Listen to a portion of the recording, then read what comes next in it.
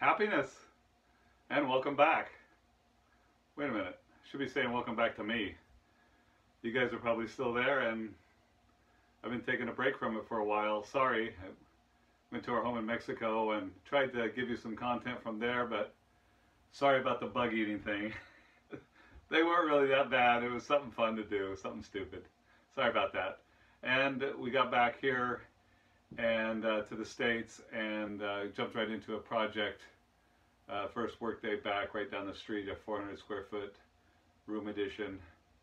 Very close here, so the carpenter's been kind of tired, getting old, getting tired, but uh, working right alongside the guys uh, framing a house right now, or framing part of a house.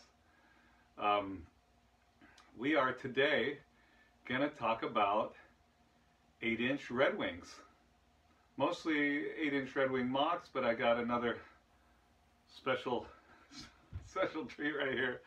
Um, you saw a lot of my 8 inch Mocs like the 8829 Billy Boot with the knife and little pocket and the kind of the some of the um, 877s that I had um, with special heels and soles, Dr. Soles put on them. And so this is just pretty much stock Red Wings here, except for some Kilties. These These are pretty stock. Um, so I'd like to start out with these right here. These are the 8125 Blueberry Mule Skinner. All these are gonna, these uh, Moc toes right here today are gonna have the wedge sole. I got these from one of our German friends. They are a European release. These ones are from 2011. Got a little veg tan kilty false tongue in there. Thank you to our friend Dale, uh, Aero Surfer LE, LV uh, at Dale's Leatherworks for for the the kilties that he's provided to me, and that's a great place to get kilties. I love these, man. I was looking for these for a long time. They're the blueberry mule, mule skinner. It's not a suede or gamuza, as we say in Spanish. It's a rough out leather. A suede is something that's kind of the leather split in two and combed a lot. Um, it's that's why it's not very thick. It's very soft and supple for jackets and whatnot. This is rough out leather. It has blue shiny leather there on the inside if you can see that. Silver eyelets, 360 degree welt, I love them. Waited for a long time to get those and wound up getting them from one of the German brothers.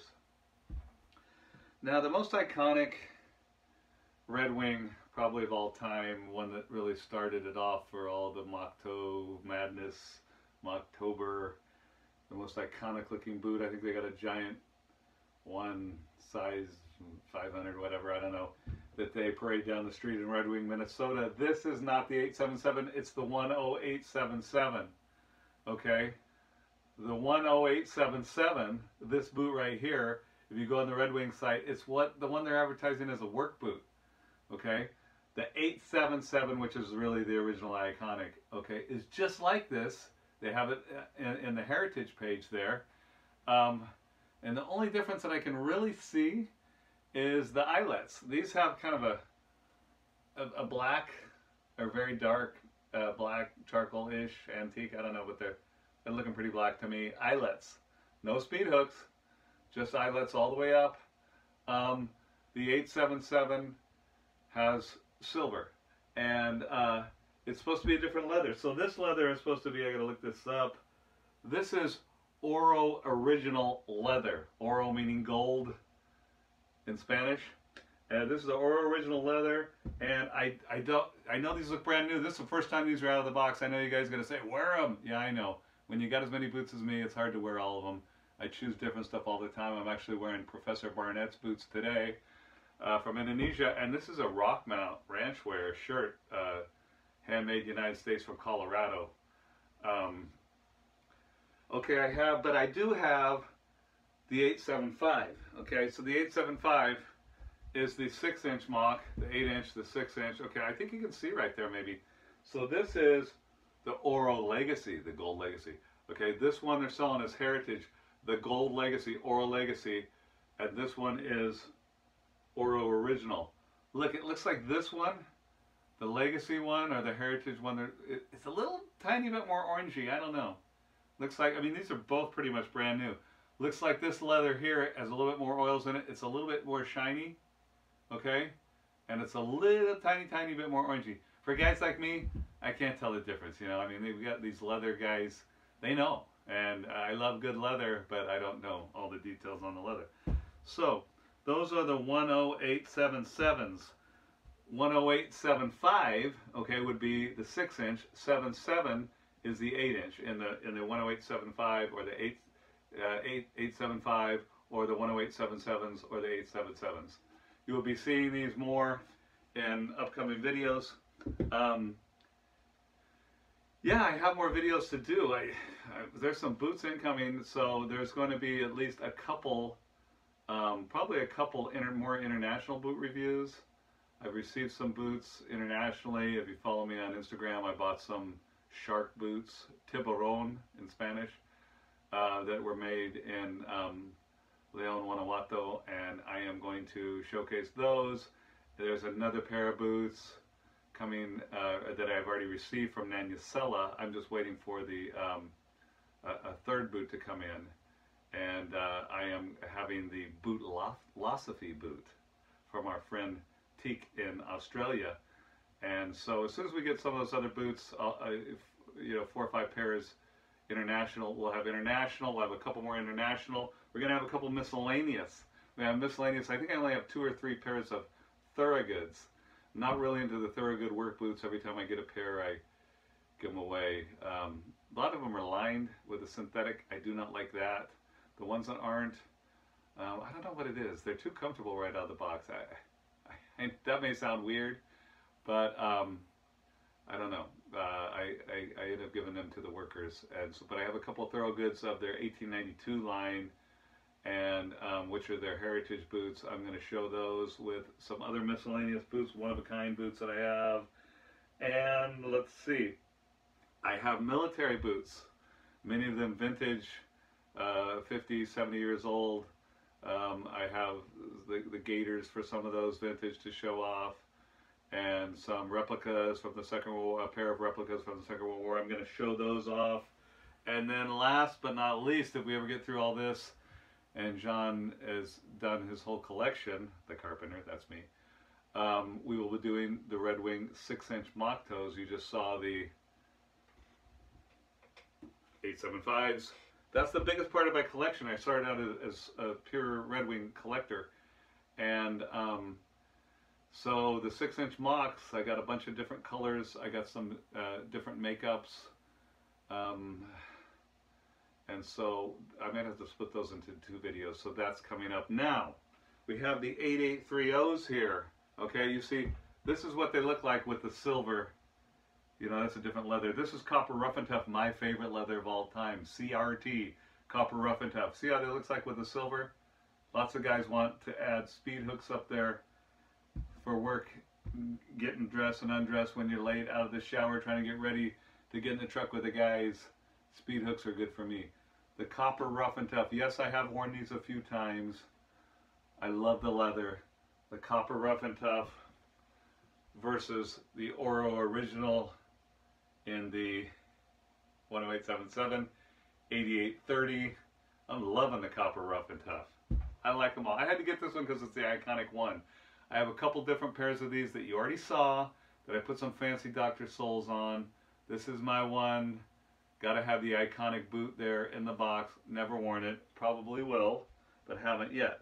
Now, the last boot for today, what we got, looks like we're going to have a shorter video, is the 4585. Another strictly European release like the Blueberry Mule Skinners. The Blueberry Mule Skinners, this pair was from 2011. These are from 2019. It is the Briar Oil Slick Leather um, with the lug sole. It's kind of like the, um, I got the same boot. I think it's the, I don't know, something, 4, 4138, 4238. Um, but it's Briar Oil, it's called the Roughneck. It was the first heritage boot that I bought, period. And I had a trip, I had to work up in Seattle, and I walked around in Seattle in those um, Briar Oil Slick 4238, 4138 Roughnecks. It's a mo- it's a six inch mock toe with a Vibram 100 lug sole. Walked around, loved them so much, and then I started looking for more, and I, it, you know, it's a rabbit hole. I kept getting more and more and more. You know, I got more. Um, but those were the first ones. But I love this leather, Briar Oil Slick. I haven't really done anything to them. They're kind of shiny. I got these from our friend in Georgia, John. You know who they, you know who you are. He knew that I loved them. He teases me a lot. He's got the, I, he's got more, more than Mr. Cook. Uh, Mr. Cook touts that he has or had the biggest Red Wing collection in the United States. My friend John from Georgia beats him. I know. I've seen, and I got those out of his collection. There's another pair of boots I got from him that you will see, which are the Maize Mustang six inch that I was dying for, and he also provided those. Um, these are a size 10. All the rest of these are 10 and a half. These actually fit me okay in the 10. I'm fine in these. And I really, really super like these. They are called the Briar Oil Slick Logger 4585. So that's it for today. A little bit shorter of a video. And I wanted to talk to you about, first, about the holidays. And I know that there's a lot of different holidays in different lands. Um, we have a holiday here in the United States which is coming up in less than a week called Thanksgiving. Thanksgiving is my favorite holiday. It's not strictly, strictly religious, although we pray.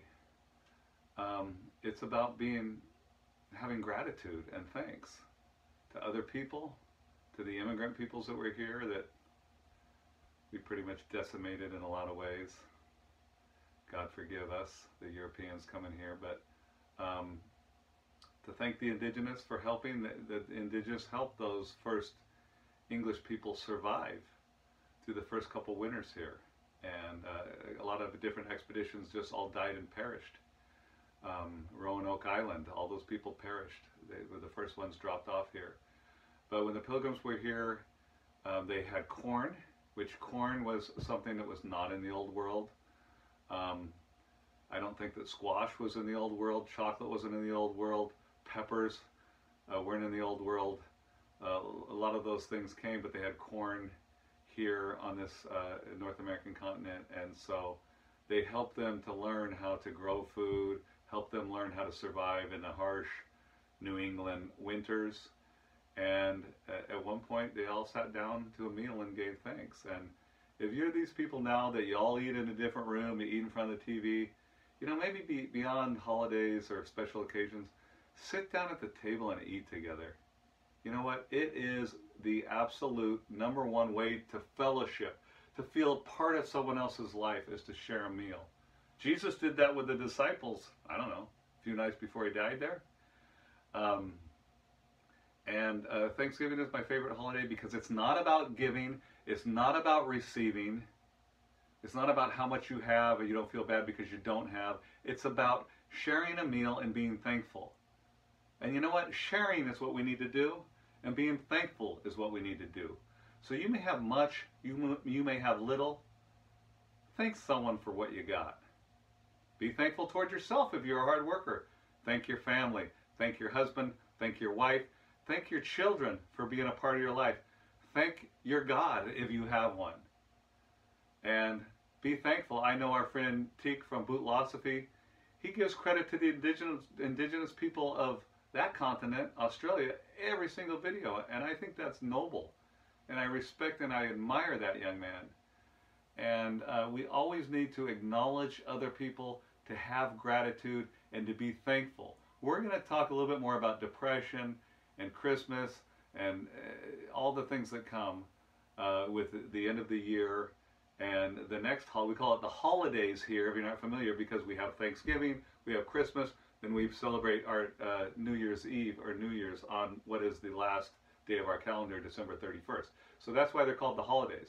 There's different, more, less, other holidays, different religions that are here. In the United States, we have people from every walk of life, every country, and culture on earth here. And you know what? I'm thankful that all you other people are here. My family came from England, 1625. And I'm from an immigrant family. I didn't do anything to deserve to be here. I didn't, you know, they didn't have papers when they came here.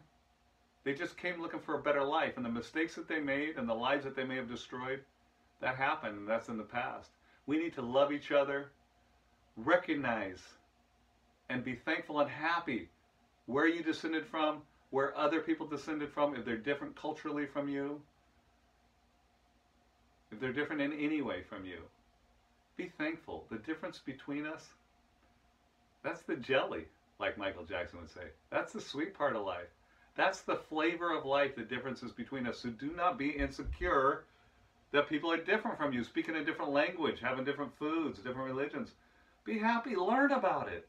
Man, when you learn things, it makes you a better person. Whether you like what you learn or you don't like what you learn, it gives you wisdom and helps you to know how to reach out in love. So this holiday season, this day, next Thursday, Thanksgiving, and every day, be thankful for what you got. I'm thankful for you. I'm thankful for you sharing this time with me. God bless you. The carpenter loves you.